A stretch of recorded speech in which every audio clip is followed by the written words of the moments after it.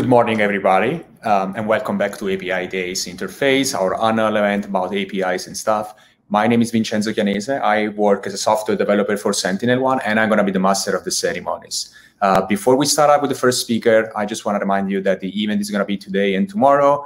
Be noisy on Twitter. You know, make sure that you tweet out the content that we're that we're streaming around, and um, also remember that you can ask questions anytime using the chat. I'm going to be monitoring all the time and select the more interesting one. And now, without further ado, I'd like to invite on the stage Mike. Hello, Mike. How are you doing today? All right, Vincenzo. How are you? I'm doing fine here from New York, 99 degrees. Oh. Not a very good weather, but you know, no. it is what it is. So, what can we do? Uh, yeah.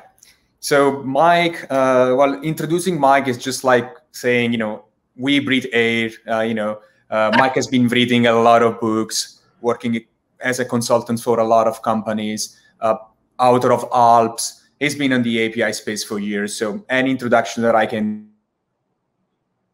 give you the, the credits that you really deserve. Uh, in in his presentation that we're just going to be seeing, Mike is going to be spinning up a story describing how and what the APIs will look like in not so distant future. So without further ado, the stage is yours. We're looking forward for your talk. Thank you for being here. Thank you, Vincenzo, today. and I'll see you at the Q&A. Okay, so we're going to be talking about APIs of the future and the real question, are you ready? Um, so first of all, just a little bit here. This is me. This is how you can get hold of me on LinkedIn and Twitter and GitHub. And I would love to connect with you. I would love to learn about what you're working on and what kind of projects are interesting for you. So please uh, connect with me, let me know what you're doing, and I'd be happy to hear from you. Um, so I have a few books that are actually uh, uh, in circulation right now. So the first one is Design and Build Great Web APIs. The second one is Continuous API Management, which is in early release. So I and some colleagues are doing a second edition.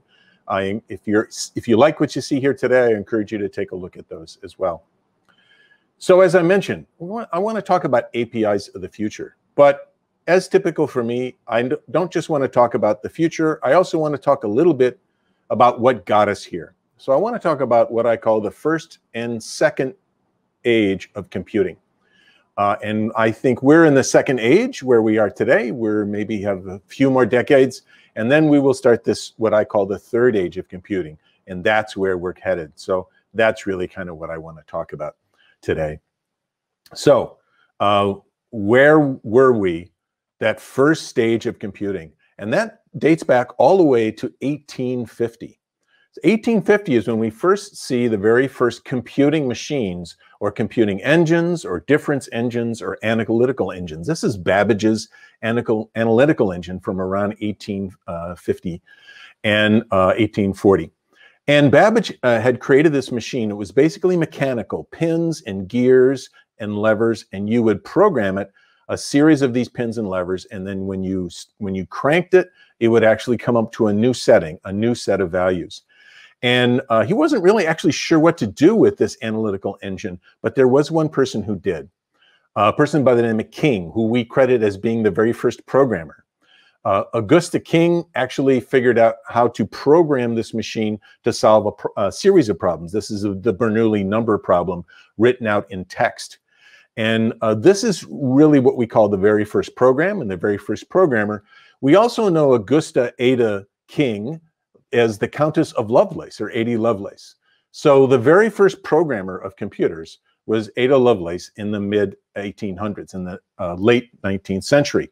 She uh, associated it with weavers, looms, the jacquard loom, which we'll talk about a little bit later. This is a jacquard loom, which is kind of programmable in a lot of respects. You can actually find many of them today. Um, here's a quote I love uh, from uh, Countess Lovelace. And you can see even in the very first programming, bug debugging was still a problem. Uh, I will also point out that Lovelace operated as a remote worker. The machine that Babbage had was uh, in one location, and she wrote she and Babbage wrote letters back and forth to program it. So there we share a lot with our very first programming uh, icon. Now I'm going to jump ahead to um, Paul Otlet. Paul Otlet was born about 20 years after uh, the um, uh, after Lovelace had passed away, and he had this vision of using computers not just for mathematical problems, but to actually communicate. This was the early early part of the 20th century. He wanted to connect sound and audio and video and text. This was his workstation, what he viewed the, the information workstation for what he called the worldwide network would look like. Uh, this is actually the first modern computer we would consider in the, of the modern age computer. This is the ENIAC machine. ENIAC machine actually didn't work on levers and gears, but worked on electrical relays. And you can see these are just rows and rows of electrical relays.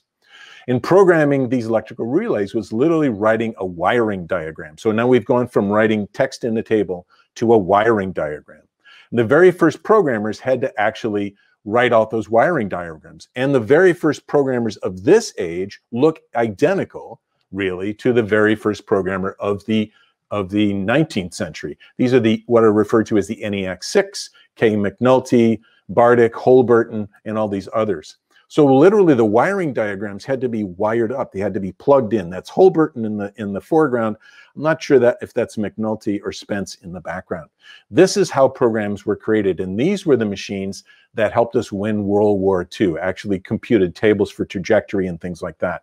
You still needed to be a fantastic mathematician, but you also had to, how to understand how to wrangle these big machines.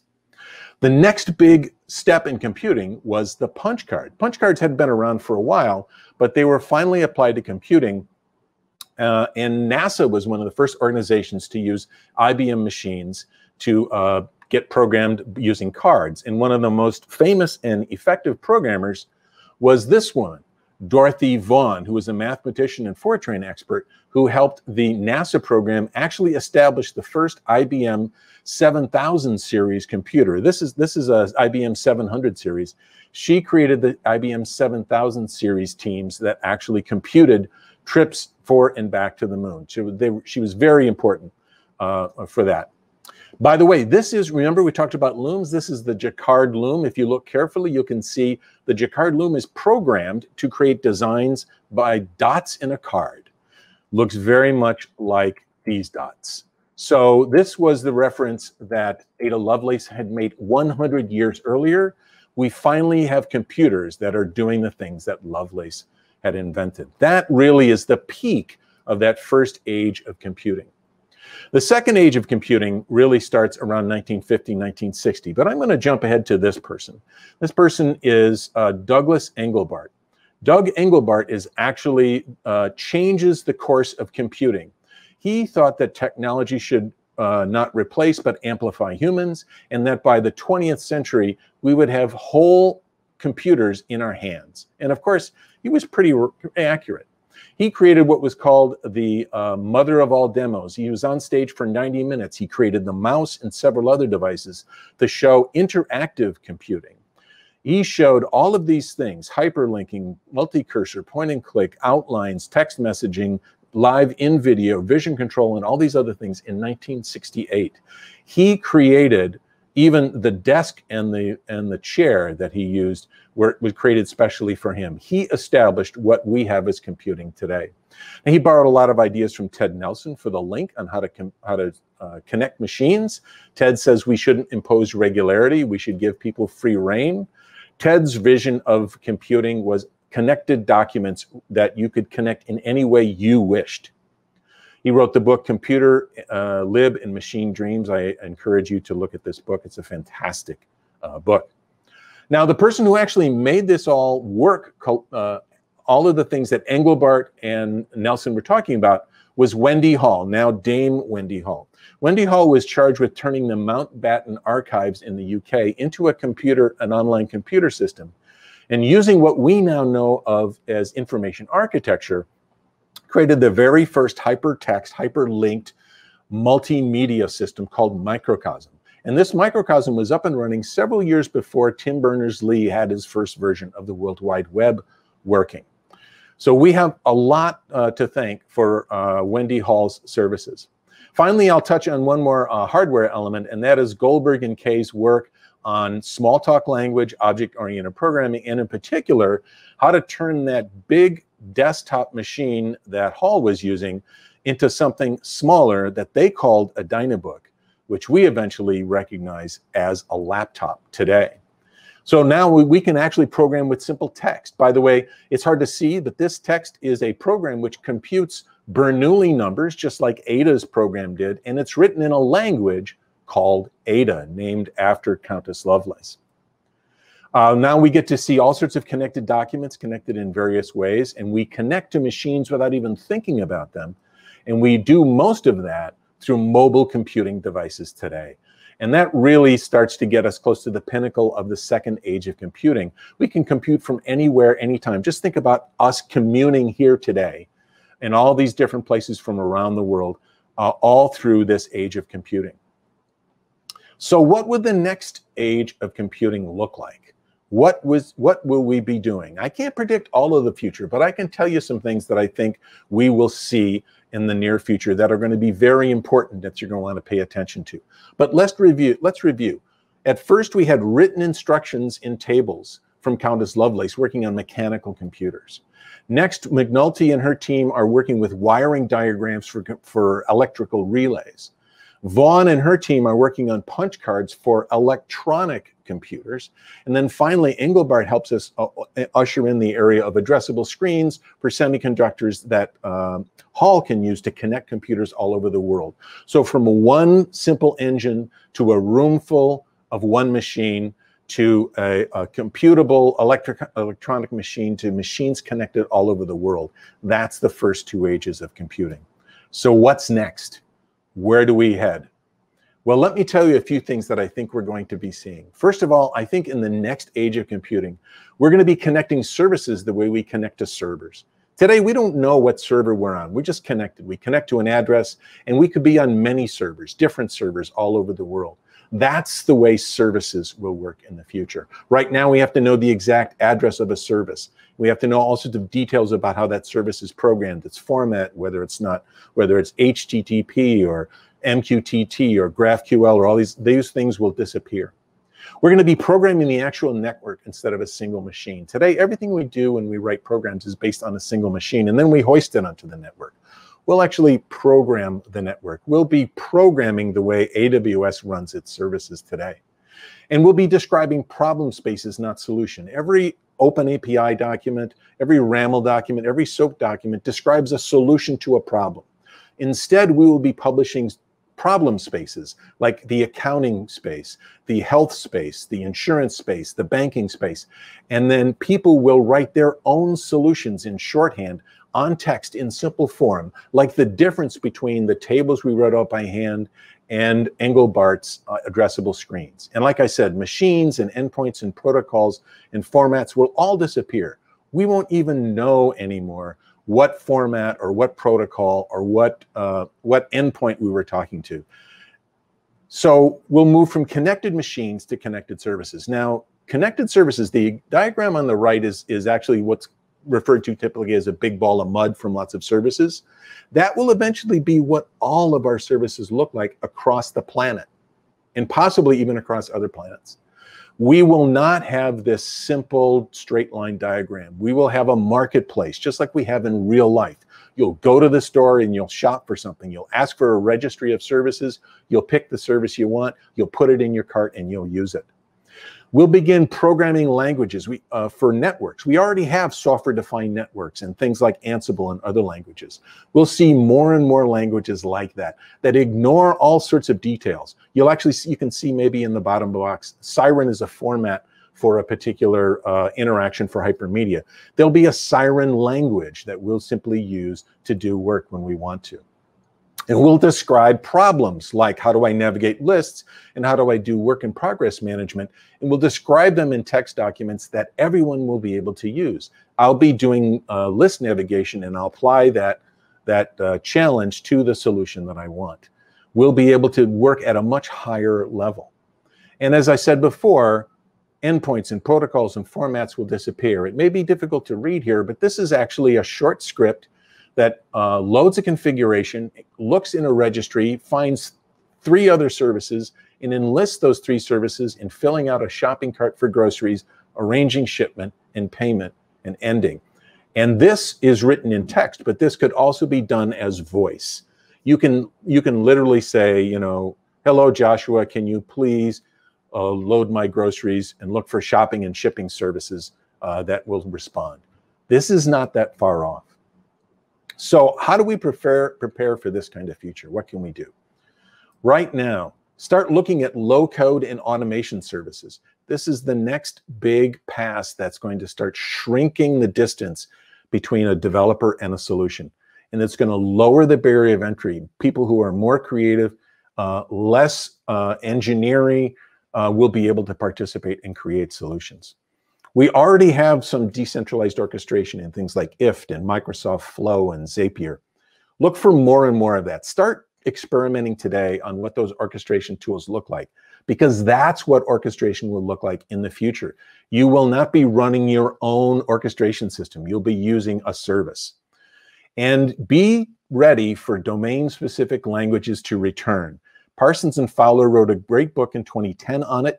It may, some parts of it are dated, but I would tell you to go back and look at that book. DevOps has spawned all sorts of domain specific languages.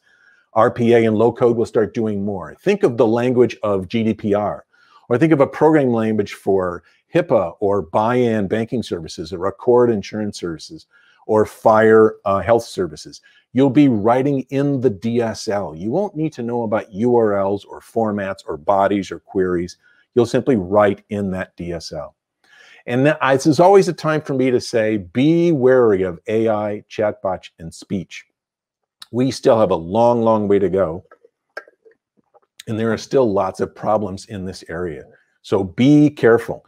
Uh, remember that AI and ML right now just simply pick the most likely choice, not the best choice. And that can end up going very, very badly. Instead, look, uh, get ready for the thing called task-focused microworlds. These are literally DSL type languages to solve one particular problem. They're not learning machines. They don't have to reason or plan. They just solve a particular fixed problem. We already have some examples of this, like donotpay.com, which is a bot to help you get out of parking tickets. There are lots of health expert services that are helping to analyze documents and find things like cancers and other things that humans might miss. We just saw the launch of Copilot with GitHub. And now Copilot is basically reading this whole corpus of material. I'm not sure where they're getting their material. I'm not sure uh, if it's good material. It's uh, Copilot is going to pick the most common answer to the question, not the best answer. You can imagine what, uh, I don't know where they get it, but you can imagine if I created a bot that read all of StackFlow, Stack Overflow, I might come up with some bad suggestions for how to solve problems. So be very wary of machine learning and AI systems. In fact, if you want to stay informed on this, are, these are two people that I would strongly recommend you keep an eye on.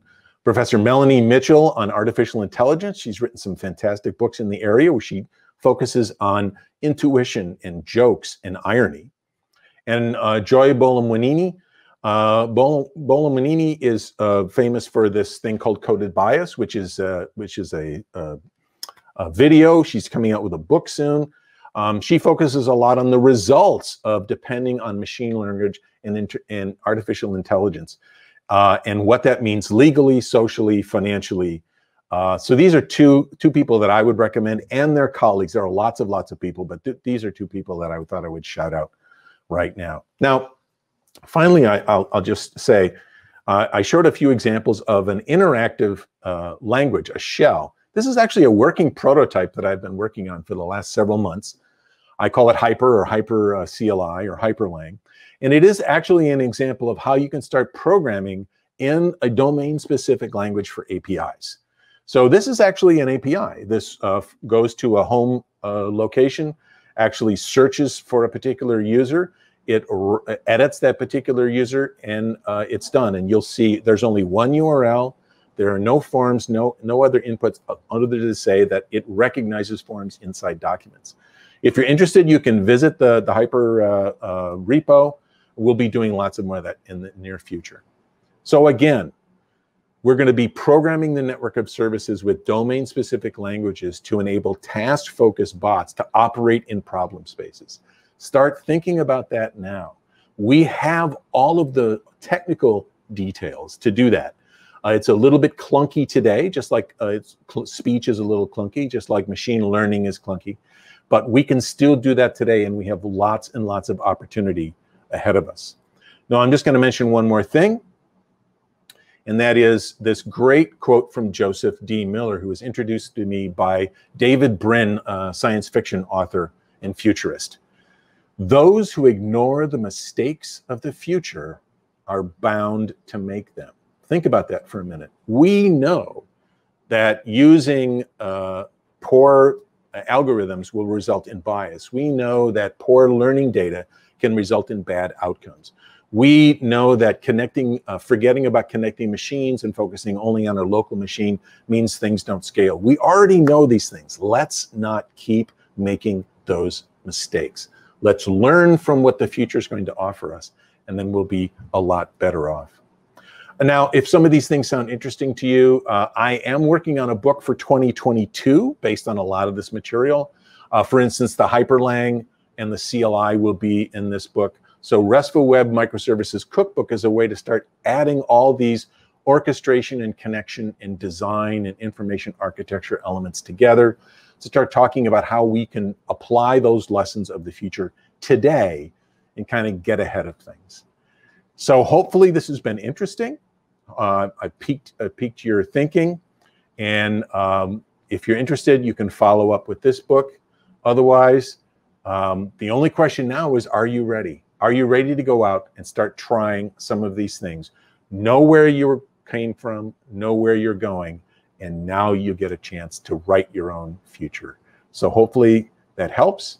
I'm going to go ahead and close out now. I'm going to switch back to my slides, and I hope I get a chance to answer some questions.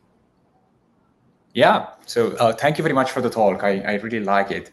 Um, we do have some questions here. So um, the first of all, well, I'm gonna say all of them together, so you can probably compose a single response. So, okay. in your opinion, what is the key piece of technology we're missing right now to make this idea of autonomous API just fly? Second question: Who do you think is going in the right direction? And three, out of curiosity, what year do you think we're going to have the first services that are going to be working in this way?